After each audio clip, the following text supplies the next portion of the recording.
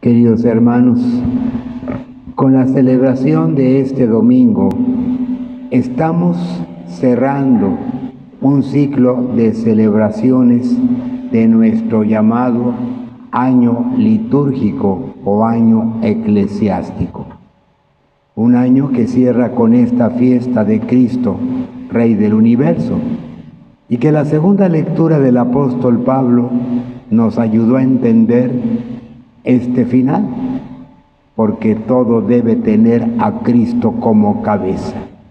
Las cosas del cielo y de, las, de la tierra, porque el Señor ha venido a dar su vida por todo. Una fiesta que nos invita en un primer momento a hacernos una pregunta personal. ¿Qué tanto crecimos en la fe? Repito unas palabras de un sacerdote de España, especialista en temas de liturgia, que explicando en un artículo de los años pasados la finalidad del año litúrgico decía que todo está ideado de tal manera que con las celebraciones que vamos llevando los domingos, a través de los llamados tiempos litúrgicos, la finalidad es que el cristiano viva, celebre los misterios de Cristo. Y así, si viviéramos bien todos los tiempos y las misas de domingo, el resultado debiera ser una experiencia humana de una persona, de un bautizado, que va comprendiendo mejor los misterios de Cristo, que los va haciendo vivos en su persona y que va teniendo mejor conciencia de lo que de lo que significa ser discípulo del Señor. Y tiene mucha razón. La vida siempre va cambiando. Cada año encontramos situaciones inesperadas en las que la fe debiera ser un valor, una manera de entender la vida y ayudarnos a realizar como Cristos lo que la vida nos propone. Por eso creo que la primera valoración de esta fiesta de Cristo, Rey del Universo, sería para preguntarnos, ¿realmente crecimos en la fe?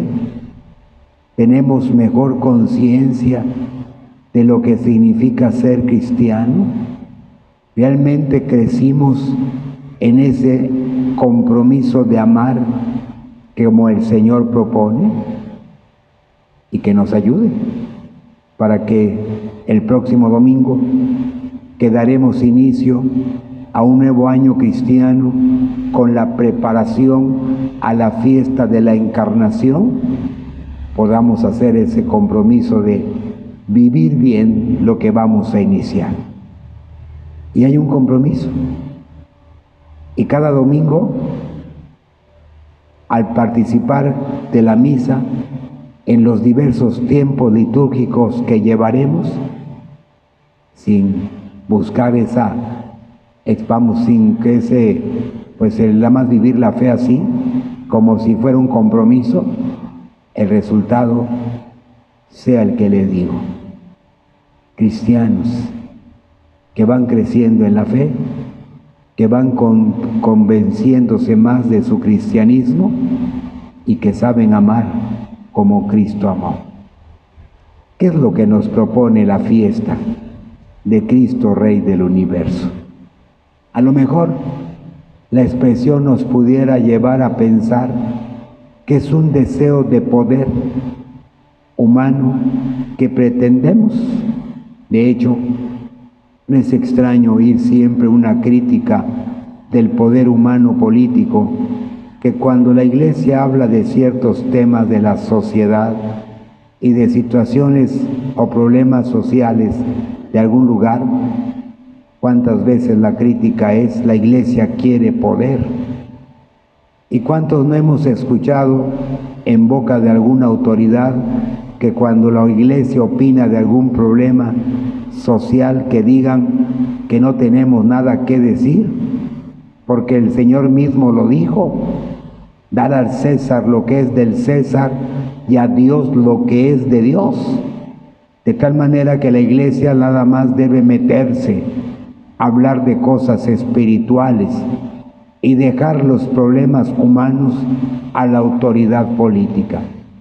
Es cierto, los problemas humanos tienen que ser resueltos por nosotros, porque somos nosotros los que provocamos el ambiente social. Pero si no tenemos una luz, una verdad que nos guíe, entonces el poder humano puede equivocarse y el poder humano, guiado por criterios muy egoístas, ambiciosos, personales, puede ser un poder que cometa mucha injusticia, que cometa muchos males, que provoque la muerte. Porque para poder tener poder humano hay que pelear. Porque para poder tener poder sobre los demás hay que hacer guerra. Porque para poder estar sobre los demás hay que matar. La gente que quiere poder no le importa lastimar, no le importa juzgar, no le importa condenar, no le importa mentir, porque quiere poder. Y a veces ni cuenta nos damos en nuestros deseos de poder humano que así nos guiamos. Ustedes y los que trabajan lo viven en sus ambientes de trabajo. ¿Cuántas veces hay guerras? Hay luchas, hay, hay muerte porque alguien quiere poder y no le importa dañar. Ese es el ambiente del poder humano. Por eso, cuando valoramos el tema, tiene que quedar bien claro la propuesta del Señor. ¿Cuál es el reino de Dios? A lo mejor la pregunta nos puede llevar a pensar en un lugar, en algún pueblo, los judíos, pero cuando vamos comprendiendo el mensaje como el Señor lo transmitió, la primera sorpresa del reino es esta, que el reino es Cristo. De tal manera que el reino no es un lugar, es el misterio de Cristo que expresa la verdad de Dios. Por eso expresiones del Señor que decía, mi reino no es de este mundo. Y cuando le digan que el reino está llegando, no corran, no vayan a donde les diga está aquí o está allá, porque el reino de Dios ya está en ustedes. Y cuando uno comprende la expresión queda claro, Él es el reino. Entonces, el misterio del reino se asocia a la verdad de Dios. Pero un reino que entonces encuentra toda su verdad en el mismo Cristo. Por eso Cristo es el rey de este reino, porque Él es el que hace presente a Dios y porque Él es el que hace posible que el misterio de Dios llegue a nuestra vida. Entonces, no confundamos al escuchar las palabras con ideas del poder humano lo que el Señor entonces nos dice. Y por eso su reino toma vida, no en países, sino en el corazón de los hombres. Ahí es donde su reino, su misterio, quiere transformar la vida. Pero un reino que no es un reino que quiere y busca pasiones humanas como las que podemos tener y que nos hacen ejercitar el poder humano con esos criterios de ambición, con esos criterios de buscar y beneficio solamente. Por eso, los valores del reino son de justicia, de verdad, de gracia, es un reino de vida, porque solamente se puede realizar el misterio y la verdad del hombre bajo la experiencia de estas verdades que tienen otro interés, pero que no son las pasiones humanas. donde las pasiones dominan hay guerra, donde las pasiones dominan hay división, donde las pasiones dominan hay mentiras, donde las pasiones dominan no hay amistad, hay guerras, hay muerte. Y por eso nos invita y nos pide a ser parte de su reino. Y cuando el reino toma vida, el resultado debe ser un cristiano entonces, que es fiel a la guía de su rey, que entonces vive los valores de su reino y de su rey, porque sabe que así colabora con su rey en la construcción de un reino que trae paz, que trae amor, que trae perdón, que trae una vida distinta y que es la que Él quiere y desea para sí mismo. Y por eso, cuando lucha por ese reino, estos son los valores que aplica en cualquier situación humana, los del reino, para que todo lo que aquí se viva y se haga tengan una luz que bajo esos criterios den otra manera de ver la vida. Y por eso hoy venimos a eso, a reafirmar con esa proclamación de Cristo Rey, que así queremos sea nuestra vida, que tenga como fundamento de todo a Cristo, que vuelva, que sea Él el que guíe nuestros pensamientos, acciones y palabras, para que los valores de su reino, que no es de poder humano, ni es de deseos ni pasiones humanas, el efecto sea un reino de vida, de paz, que permita al hombre una mejor forma de vivir con sus hermanos. Pero esto se va a decidir de manera personal. El texto del Evangelio era muy bello.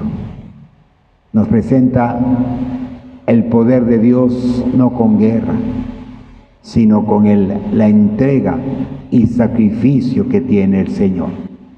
Pero sorprende la actitud de los protagonistas del relato, la autoridad, los soldados y un malhechor que estaba también a su lado. Ellos le dicen cuando ven lo que está pasando y la muerte que va a llegar, y lo dice el texto con claridad, se estaban burlando de él. Si tu reino es de este mundo y tú eres el Mesías, libéranos de esta muerte. Cuando la mañana leía el texto, me imaginaba los finales de película de los héroes de la Edad Media, ¿no? Esos héroes medievales que a veces vemos en película, que ya están a punto de ahorcarlos, de cortarles la cabeza.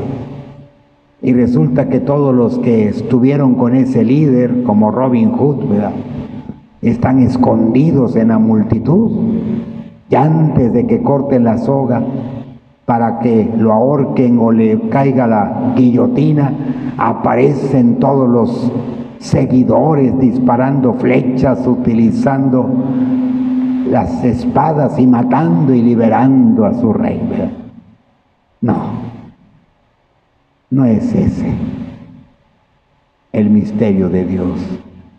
Él da la vida porque quiere que entonces entendamos que solamente en el sacrificio de la vida, por los valores y la verdad a Dios, vamos a poder construir un mundo mejor y una vida mejor. Y por eso su sacrificio hasta la muerte era el signo de su poder. No iba a huir, iba a entregar la vida. Aquellos tres, los, a la autoridad judía, los soldados y el rey y el ladrón estaban en otro nivel. Pero a su lado había otro, Dimas, el famoso ladrón bueno.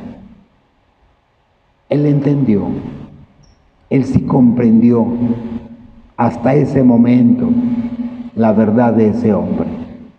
Y por eso, ante el primer, ante el reclamo del otro malhechor, sus palabras.